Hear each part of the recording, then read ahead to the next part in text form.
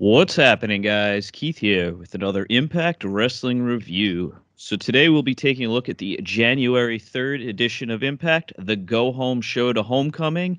And today I am once again joined by Roe from the Impact Lounge. If you haven't checked out the Roe, uh, the Adam and Roe show before, be sure to do so exclusively on the Impact Lounge.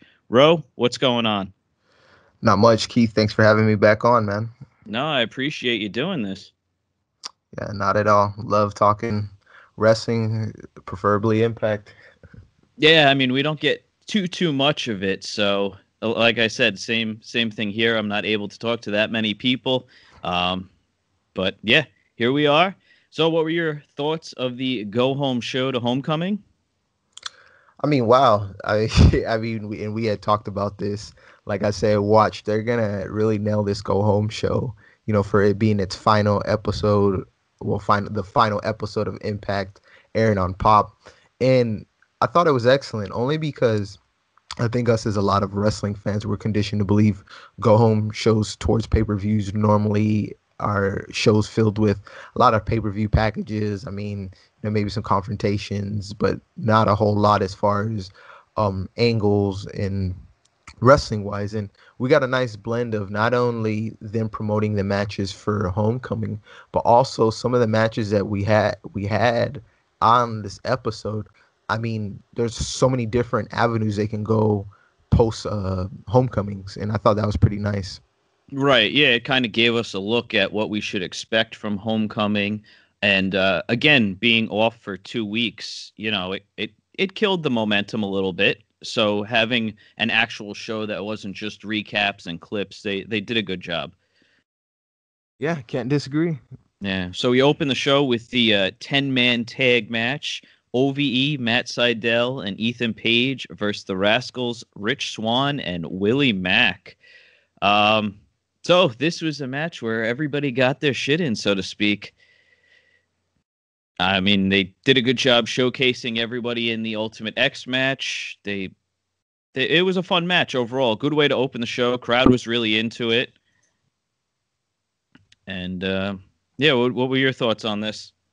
I think first seeing all these participants, it just kind of um, let me know, and I think you know I could speak on behalf of a lot of Impact fans. You know, the one thing that we've always have thought was, oh, the tag team scene is uh, so thin. I mean, this displayed a majority of the tag team scene. I mean, excluding KM and Fallah and Desi, the Desi Hit Squad. So, you know, hopefully, whatever happens post homecoming uh, from the match between LAX and Lucha Brothers, you know, hopefully we can get a program including one of the, you know, some of these teams.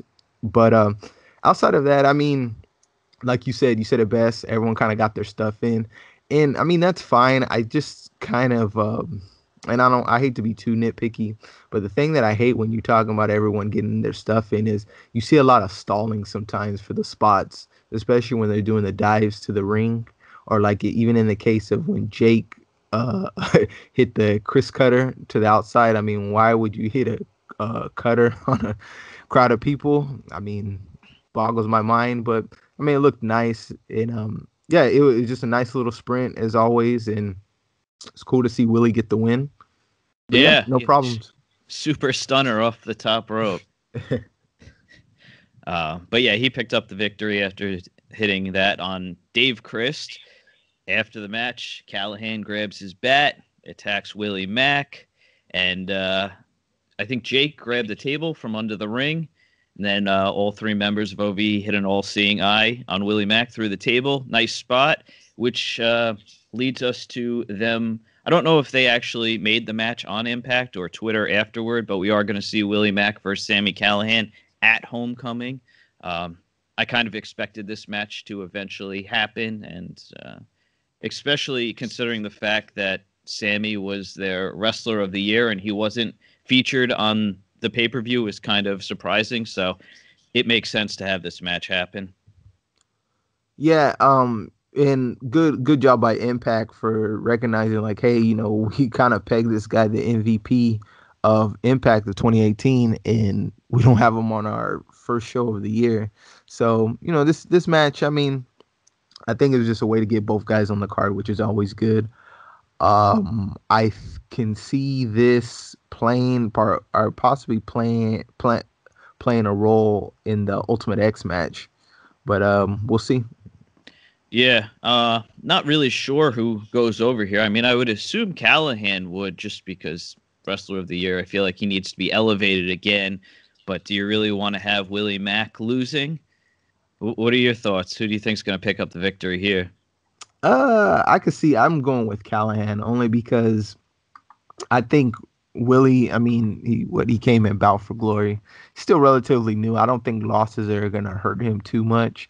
And if what they're showing is any indication of future plans, it looks like there's um, a program that uh, an extended program that might be in the works. So for, if he were to lose this match, I don't think it harms him that much. Yeah, I guess that's fair. And I think if Swann does end up picking up that X Division championship, we could see him and Callihan have something going forward. I mean, I know they've uh, been protecting each other, so to speak. I guess Callihan didn't attack Swann after he was kind of uh, holding back and covering Willie. So I don't know if they're going to go some way, some route with that. Yeah, that was interesting, and that's what it just had me thinking. I'm like, you know, they had really have something here, and with this match, and then plus Ultimate X, it's probably going to all tie in together, you know, somewhat. Yeah, that's why I feel like putting the X Division Championship on one of either Jake or Rich would make sense with this whole thing going on, and then you have a story building post Homecoming with everything. Mm-hmm. So moving on, up next we had Eli Drake. He comes out, cuts a promo, saying that he is forced to face Abyss at Homecoming. He says we haven't seen Abyss since Eli took out Joseph Park. Same thing with Tommy Dreamer. Eli says he's an adapter because he is the last of a dying breed. Says he is hardcore. That brings Tommy Dreamer out, chair in hand. He takes out Eli, hits him with a DDT, puts the chair around Eli's head, goes to do what Eli had done to him a few weeks back. Lights go out. Raven shows up. Uh, we saw Raven a few weeks ago, or the last couple weeks previous to the two week break. Uh, Dreamer and Raven have a stare off. Eli wants them to kill each other they end up beating up Eli. What'd you think? I was so expecting Raven the DDT Dreamer just because that's uh, Raven. Um, you know, I think it was a nice for um, ECW fans the nostalgia because Dreamer and Raven have a you know big storied uh, past and whatnot. Um, yeah, I mean, just a way to kind of sell the match in a sense, even though neither one of these guys are in the match at Homecoming. But I just, I guess I kind of worry a little bit for Eli, only because, only because, no, no, not that he's not gonna win. I mean, I'm pretty sure I'd be surprised if he didn't win at Homecoming against Abyss. But it's just, and a, a lot of people has been talked about. What's the direction with him? Where are they kind of going with this? Because you know, you have him cutting this promo about being the last of a dying breed I mean, is he just speaking, or is are they really gonna go somewhere with that? And I think that's just what's key. But um, outside of this angle, I mean, I think it was cool. I mean, like I said, I would have liked to see Raven DDT Dreamer just cause, but um, no problems from my end. Yeah, I, I, just don't know where they go here. I just hope you know this doesn't continue on. Uh, we, we've seen enough with Dreamer and Eli Drake, and you know, at this point in Dreamer's career, he doesn't really need to be wrestling. They need to be opening that spotlight up for some younger talent to uh, push forward, which I really think that should be Impact's direction moving forward, just with everything going on in the wrestling world and any free agents that are going to be picked up are going to be picked up by other promotions. So I think Impact needs to build for the future using their promotion, you know, their uh, partnerships with other promotions to bring in young talent and just kind of make let them make a name for themselves, take risks, try to build new stars. But uh, like you said, I I would hope Eli is slated to move up to the main event. There's just a lot of moving parts going on in the main event now that it's tough to tell what direction they're going to go in. Yeah, you know, and that's the biggest thing I think, and I'll piggyback off of what you're saying as far as them needing to build new stars more than ever now um, because they're going to be in bidding wars now. And unfortunately, I think impacts, well, I mean, I don't know their finances, but excuse me, I believe you know they're kind of working on a semi-tight budget, so some of these other promotions might be able to throw big money at you know the biggest free the hottest free agents. So what they should do first off, I mean, I think utilize what they have, the roster they already have. I mean, it's plenty. But um, if you're gonna sign folks, I would try to get the young, you know, the younger talent that are hungry, that just kind of want want that big break, and uh, homegrown them and make them your own stars. I mean, they have the ability to. It's just you know you kind of have to just commit to it. So I think that's the biggest thing. But yeah, hopefully this kind of catapults Eli back into the main event scene because you know regardless the outcome of the uh, main event, the title, uh, excuse me, Impact World Title match. I mean, there's gonna have to be a next contender, and what they got to start doing for some of these um, uh, champions is they got to have some contenders lined up. You know, build some of these guys up so they're formidable contenders. I mean, you could only go the route of picking random guy A, random guy B so many times before people stop buying them as credible challengers. Right, and like there's there's no reason for Eli not not to win against Abyss because Abyss has nothing really to gain. Um, but yeah, we will see. Uh, so up next we had the Desi Hit Squad versus KM and Fallah Bahh, the rest of the tag division. Uh, so this match was all about Scarlett and trying to impress her. Gama Singh decided to dedicate the match to Scarlett. We uh, find out a little later on after both teams are introduced that Scarlett will be observing from the stage. Um, they put on a decent little match here. Uh, good to see both these teams showcase and actually doing something. The match did have a purpose with Scarlett, but that furthers the question of what are they doing with Scarlett? Are we actually going to see an end game here? I mean, they've been pushing the whole uh, video sending videos in for a while now. It's there an end date or, or where do we go from here? That's that's my question. I think a lot of people are starting to question that as well. Is she a wrestler? Is she a manager? So uh, what do you think? I mean, it just seems at this point she's being trotted out there for eye candy because you know a lot of people, you know, are high of her, high on her. You know, highly attractive woman. Um, yeah, I'm in agreement with you though. Um, it looks, I mean, and I'm sure I'm wrong, but it looks like the inevitable inevitable pairing of her and KM and Fallah, since she seems to come out a lot for their matches. Um, but uh, outside of that, I think the bigger thing I'm looking at is between these two teams. You know, are these guys? Well, since KM and Fallah came up on the uh, winning, and are they next in line for the tag team titles? You know, as far as uh, getting a shot, as far as Desi Hit Squad, I mean, you know, it might be time to pull the plug on this team. Um, I thought the first iteration with Gursinder Singh was fine, but now they uh, plugged in this other guy. And not saying that there's anything wrong with him, but there's been so much stop with this team and not enough go. I just feel like some of the momentum has been lost from any momentum they did have. Yeah, well, absolutely. And it's hard to build up either tag team when it seems like they're basically being treated as the bottom of the tag division. And if there's no stepping stones, it's hard to elevate them. But it seems with the whole KM, Fallah Bahh, and Scarlett things, a lot of stop and stall. It seems like they're going with it and then it goes in another direction. And I mean, I, I think the pairing of those three would be good. Granted, I don't think Fallah and KM really need to get themselves over anymore. They're plenty over. I think they just need to be elevated up the card. And I think, you know, a tag title run in the futures would definitely benefit them. Yeah, it's one of the, you know, we always talk about the company needed to take chances. I think that's a chance they need to take. It's not going to hurt them at all. I, I think the biggest thing that we've seen, and even in past, when they've kind of relied on outside help, I mean, there's really never been somebody that they've brought in that really has moved the needle that significant. And with knowing that, you're able to take more chances. You know, whether you put the title on this guy or this team or on this big name. I mean, if the ratings are going to stay the same, why not just take a shot with something new instead of going to the well? Well, especially at this point with the move to Pursuit, and it seems like, I mean, obviously it's partially owned by Anthem and I would assume that ratings aren't the you know the spotlight here. So this is the perfect time to give everything the green light and just see what sticks and run with it. Yeah, and I mean they've shown in the past too when something hasn't worked. I mean they're able to act fast and pull the plug on it. So I just that's kind of the one thing I hope for 2019. I mean, because they need it now. I mean, there's so many other options. I think that's the biggest thing when you look at Impact now. I mean, there was a time where Impact was the the option.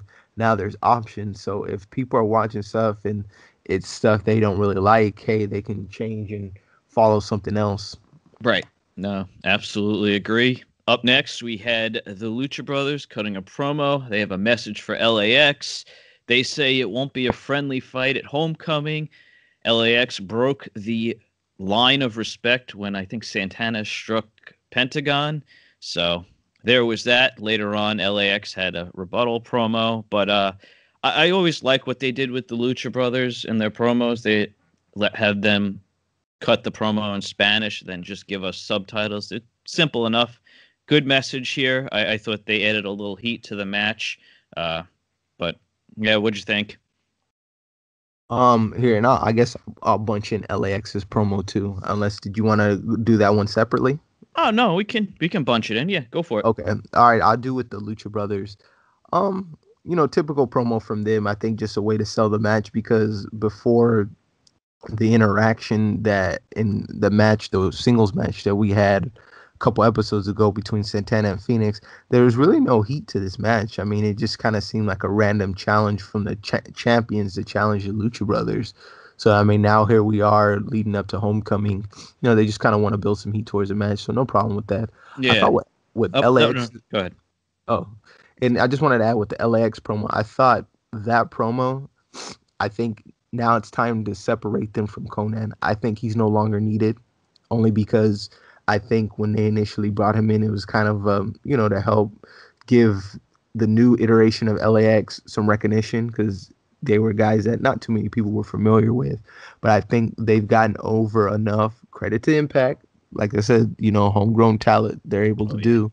Um, he's no longer needed. So whatever the outcome is at the pay per view, I think they should find a way. And I'm not saying remove Konnan from the company, but he's no longer needed needed to be associated with uh, the team anymore. Yeah, no, and I I thought LAX did a hell of a job with this promo. Both men really really sounded confident in what they were saying. Um, I feel like this promo would have been really good had they played it right after the challenge because obviously Konnan is no longer well. He says he's not going to side with either team. Let them fight it out. Um, but you know, the LAX said that they uh, last time Konnan wasn't in their corner, they went on that losing streak, and then they have to realize that Konnan isn't always going to be there for them, and they need to prove to everyone that they can do it on their own. So yeah, like I said, really good stuff from LAX. Yeah, and you know that was a nice way to play play that up too. I like that because uh, they brought that up, and that's true. When Konnan wasn't around, they went they lost the titles and went on the losing streak. So this is kind of a way for LAX to prove themselves, like, hey, look, we can win without you.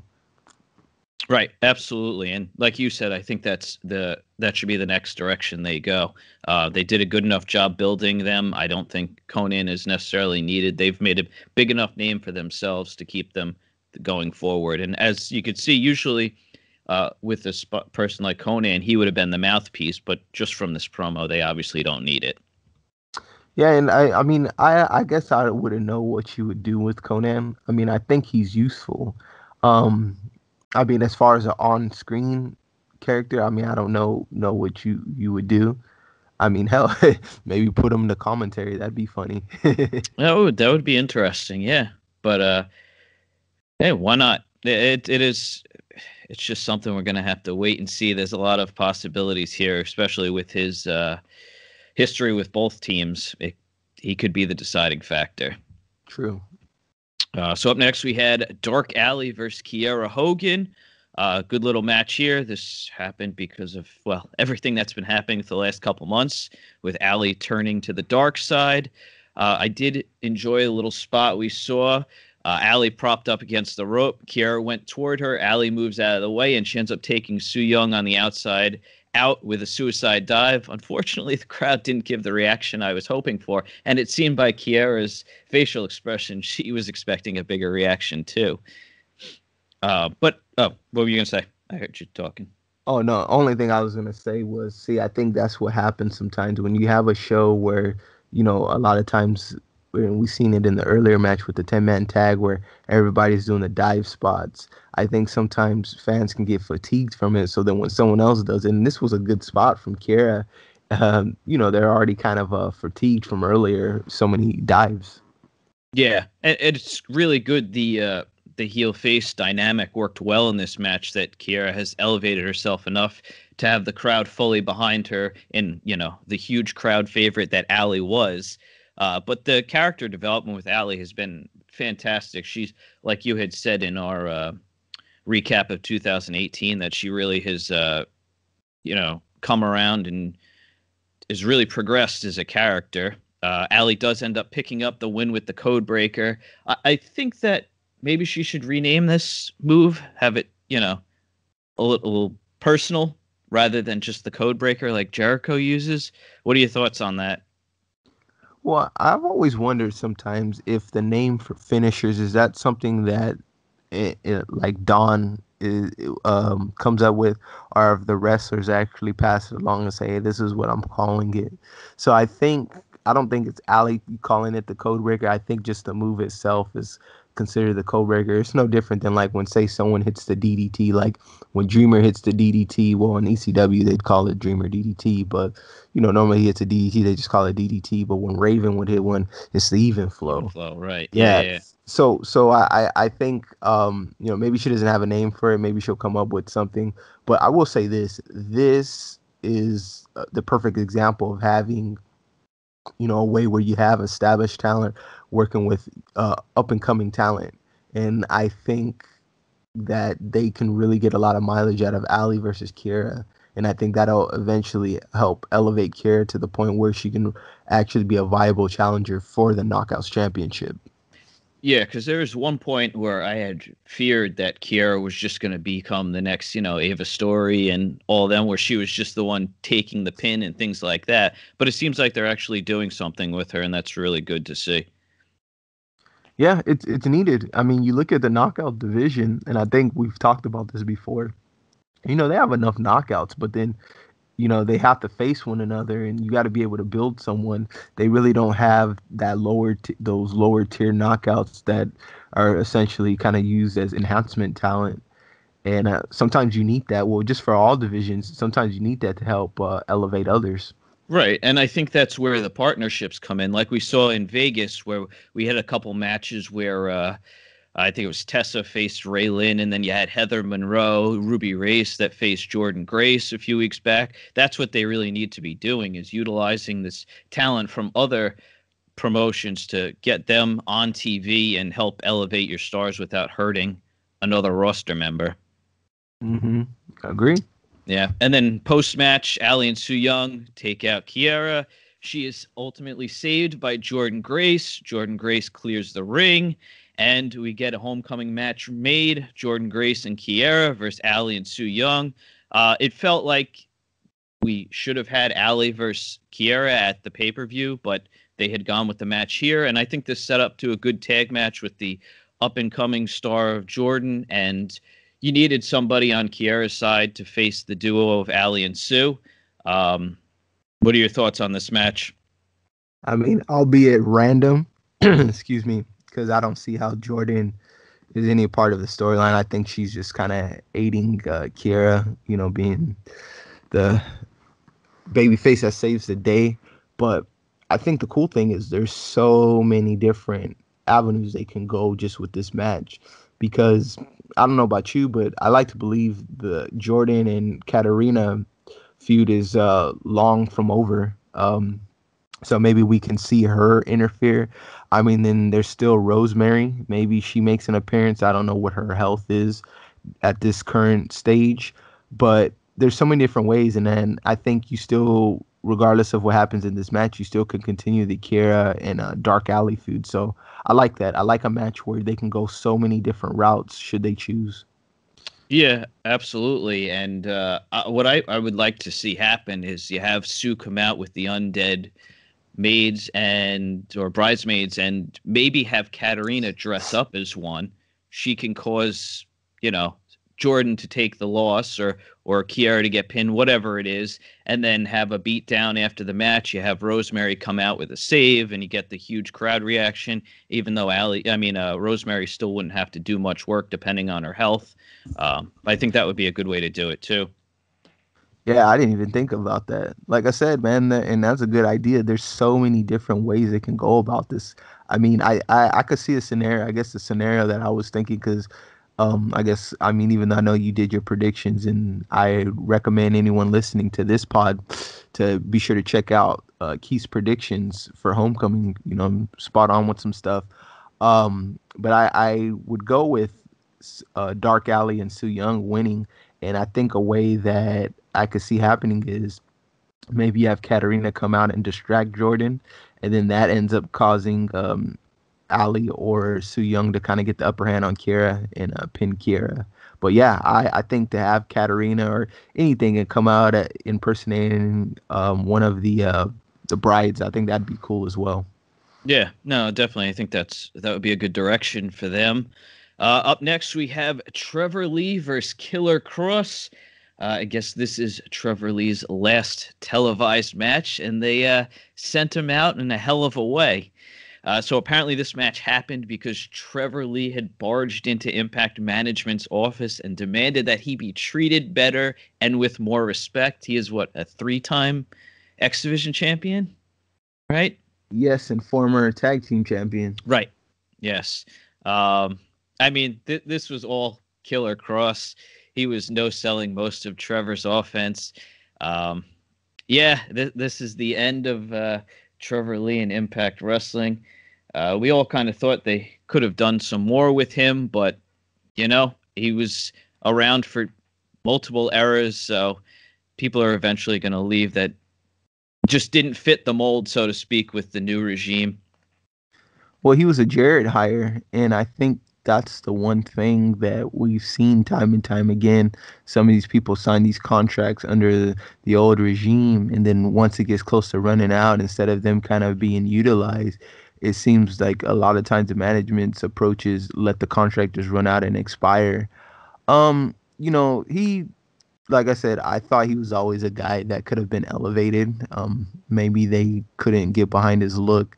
I mean, it was it did come across as a you know, a bit bland, but he was talented. I think the one criticism folks had, where I would see sometimes, was they felt that in Impact he didn't give it his all. And when I mean not give it his all, not lack of effort, but he didn't go all out compared to when he competes in PWG. And I think people had took issue with that. Um, it's always funny though when we get a departing talent that's still, you know, at the tapings and probably asks for the release during the tapings, like you think the old Impact when somebody was was getting ready to release, getting ready to be released, they'd put the title on them, and then we'd be in this big old thing. But at least now, you know, when someone's on their way out, I mean, they essentially take them on their way out, and this was no different. no, I, I think you're spot on with the look of him. Not, you know, this is TV wrestling. It's different than the indie wrestling, like you said at PWG, and he even said so himself that his batch, best matches haven't been televised. So I think, like I, I had said a while back with the whole Scarlett thing, I think they could have really turned the corner with uh, Trevor Lee had they done some character development with him, pair him with Scarlett and things like that. I, I think they could have done made that work, but you know, it is what it is, and uh, he will be missed, but not irreplaceable, you know? Nobody is, unfortunately. I know. So, I mean, the big thing happened after the match. Killer Kross grabs the microphone, wishes Johnny Impact luck in his match with Brian Cage, and he asks everybody if they would like to see what happens when diplomacy fails. Killer Kross grabs the timekeeper, tells him to do whatever he says. He then goes underneath the ring and grabs a cinder block, has the timekeeper hold it against Trevor Lee's face, and Killer Kross punches the cinder block, exploding it. Um, so this was a little interesting considering what happened what a month or so ago with the incident in was it Mexico with the uh, cinder block? Uh, I don't remember. Yeah, well, regardless of where it happened, you know, I'm honestly not su- uh, surprised that people didn't come out complaining about this after what happened. Granted, this was taped before the other cinder block spot had happened, and obviously this was a part of the show, but uh, uh definitely made an impact, so to speak, uh, for Killer Kross. Good to see him doing more. He seems very confident. He really lives this character, even on social media, things like that. I think there's there's a good uh, future in the company for him. Yeah, and I think the thing that I liked was the fact that you know he still mentioned Johnny. Well, he calls him John. So he's gonna play a role in the main event at Homecoming, and it's gonna be nice to see how that uh, plays out. Yeah, no, absolutely. I think he is definitely the wild card in that match. Uh, then we had the GWN flashback. I don't even know what happened. I just fast forward through it. Uh, do you know what it was actually? Yeah, I fast forwarded it too. I, I stopped bothering with those things. yeah, I mean, there's there's got to be a better way to push your network with not uh, showing old stars and everything, but that's another conversation for a different time. Uh, that brings us to the main event. Rey Fenix and Pentagon versus Brian Cage and Johnny Impact. So, uh, what'd you think about this match being put together? You know, on paper, it just didn't make any sense because you have two challengers teaming up, and they're facing two two of the challengers for the tag titles. I really thought it would have made a little more sense had they went up against a heel team. So maybe if you wanted to do Kross and Moose or whomever, but uh, with that said, I mean, it was a fine match. Um, I think it was just a way to showcase the participants at the upcoming pay per view. Um, it was funny because I'm all saying to myself, I said, we're getting this match between Cage and uh, Johnny Impact, but we've never really seen any type of uh, uh, dissension between them two. Like, a lot of times it's just been kind of a looking eye to eye and stuff, and I guess some sort of mutual respect. And we finally got that I mean, with the miscommunications and whatnot. And I thought that helped sell the match some come for a homecoming. So yeah, you know, Lucha Brothers get the win. You know, they look strong heading into their tag title match with LAX, but I think the most important thing was to sell the match between Johnny Impact and Brian Cage. And I think it did a good job doing that. Yeah, I did. I don't know if I would have went the route of having your champion pinned like this. I think they could have just had all hell break loose, and that would have just thrown the match out. I, I, I don't know what you think about that. Um, I, I guess the only reason because I thought the same thing. I was like, really, you know, but I think it's to place doubt because we've heard Killer Kross talk about, you know, can you beat, you know, get, can you beat Brian Cage, you know, trying to put that doubt. So, excuse me, for with him losing this match, I mean, you could argue that maybe, you know, he's second guessing himself but they kind of booked themselves in a corner. We've seen this happen. I mean, do you do you have Brian Cage eat the pin and then he's going into a title match, or do you have the champion? I mean, that's why these type of matches you try to kind of get away from. I mean, like you said, you could have easily done it gets too out of control, or you have run-ins like whether it's LAX or or Killer Kross or whomever, and throw the match out. But somebody had to eat the pin, and unfortunately, it was the world champion. Yeah, not the way I would have booked it. But anyway, yeah. So this did build some heat uh, between Cage and Impact, so that was good. Uh, we had the pull apart at the end. I mean, it, it doesn't happen too often in Impact, so I can't really criticize it like it happens elsewhere. But uh, yeah, they made it. They did a good job ending the show with this. I think that definitely helped the main event for Homecoming, and then after it, I guess they showed the cold open. Right? Is that what there was? Yeah, I believe so. Yeah, they did a really nice job with that. Uh, their video packages are always fantastic. Yeah, and then the the brawl. I mean, it was it's funny. Um, and I like how they made Johnny Impact look that like he can go toe to toe with Brian Cage because obviously, you know, you look at the the size differ, uh, difference and one would assume that Brian Cage can just throw Johnny around, but they had him look uh, formidable against him. So that is encouraging leading up to their matchup. Yeah, even in losing, he didn't look weak at all in this match. Um, so the outcome, they they did a good job with it. Um, yeah, no, I'm I'm pretty excited for Homecoming. It should, like I said in my predictions video, it's very good on paper. It's just up to the booking team at this point, and I hope. Uh, well, I really don't hope we don't get a return of Austin Aries.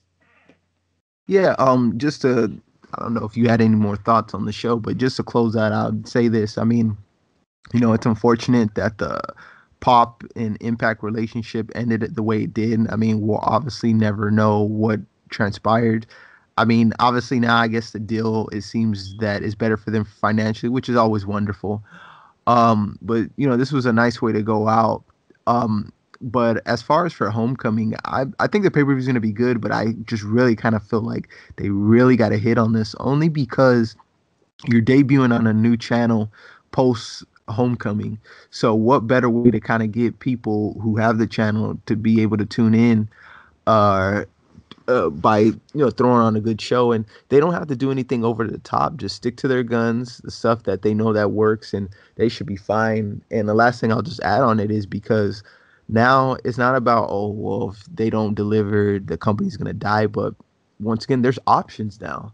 And i think they can really set the tone being the the first pay-per-view of the year so if they do right they'll be able to set that tone but if they fail to deliver i mean you know like I said, they have their audience. You know, we're fans. We're going to continue to watch, but I like to believe the goal is to expand.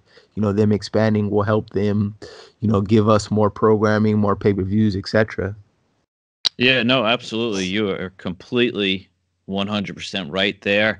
Um, it is interesting to note that Pursuit has updated their website with Impact listed, however, not in the TV listings, but it does list Impact as being from 10 to 11:30.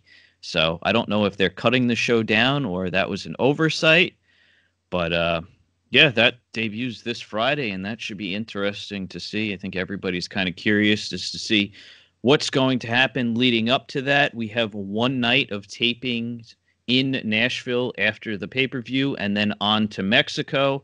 So I wonder if they're going to do some special stuff for the one night of taping. But any final thoughts before we wrap it up? Um, let me ask you, and I'm, i know this is an impact. You know, we're doing recording impact, but what what are your initial thoughts of the announcement with the AEW? Um, you know, I, I I love that there's options, and I, you know, hope they do well. But uh, this, if they're able to get exclusive talent and people are able to make a living from wrestling for one promotion because I, we see this a lot with Impact where you'll see guys here, you'll see them on MLW, you see them in Lucha Underground, and they're utilizing different companies to make a living. But if they're able to make a living wrestling for one company and under an exclusive contract, it's going to change the landscape of independent wrestling. That's my personal opinion. Yeah, I agree. Same thing and it's kind of why and i think we both preach this and a lot of people preach this it's why the need there's never been a dire need for impact to create stars than it is now only because the people that they're trying to chase now with AEW and then even uh, a MLW and then obviously you always still got the E and then Ring of Honor as well. There's going to be a bidding war. So I really think if they were to go the route of and when I'm saying cheap talent, like ones that have some potential, ain't really on the radar, and you know, bring them on to impact and grow them into their own stars, it could be beneficial for them. And I mean, who knows? There might be that person out there that they can grab and be, he can he or she becomes a big star in impact and then that gener, gener, ah, excuse me generates revenue for the company so um you know my, my whole thing with it is i think it's cool it gives wrestlers another uh, place to go to. Um, you know, now there, there's options, and I think wrestlers want that. And yeah, I'm in agreement with you. I mean, if it's a, an opportunity where someone can make an honest living instead of having to wrestle four and five different promotions, then I mean, all all for it. But uh, we just have to see. The one thing about Buzz is Buzz can only go so long. Then you have to start producing. And right now they got the buzz, and um, yeah, much to some people's displeasure because it kind of, in a sense, overshadowed the uh, uh, pay per view event, uh, homecoming pay per view. But uh, Buzz only goes so long, so I'm interested to see what they do. But um, my main focus is now is uh, homecoming, and I'm really looking forward to it. Yeah, should be a good show, and they just need to keep doing what they're doing, take chances with booking, and build new stars. So uh, that's all I have for you guys today. Thanks for checking it out. And until next time, don't forget to like, share, and subscribe. Thanks, guys. Bye.